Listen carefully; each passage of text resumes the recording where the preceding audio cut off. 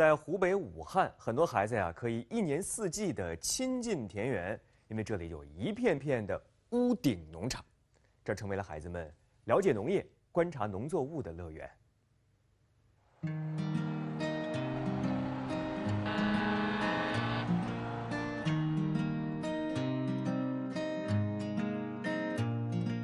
我认为农业在城市它是有生存空间的，而且它会有更广阔的发展空间。我们在研究的这个方向和实际做的事情呢，就是在城市里面去做一些都市农业的场景。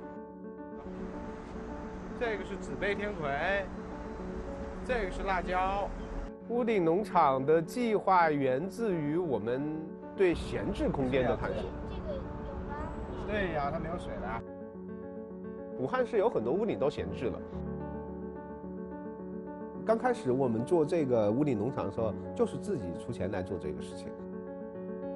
其实一开始遇到了非常大的困难，因为确确实实，第一个没有多少人知道，第二个大家不知道做了之后干嘛，完全是迷茫的，或者说完全是一股脑的冲劲，没有结果的考虑。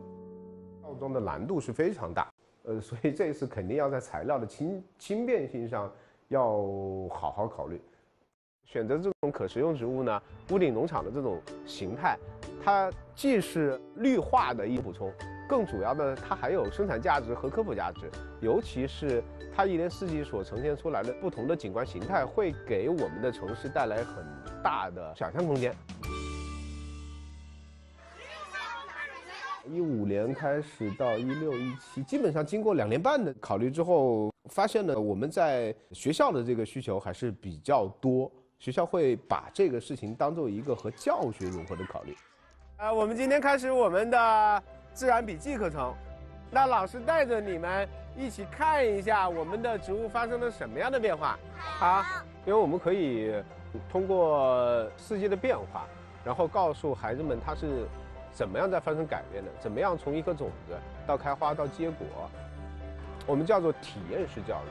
如果没有这种体验，你在书本上学到这些东西，我觉得是比较空洞的。反馈，amazing 啊，非常非常高兴啊，舍不得走啊，老师，我还想留在这里。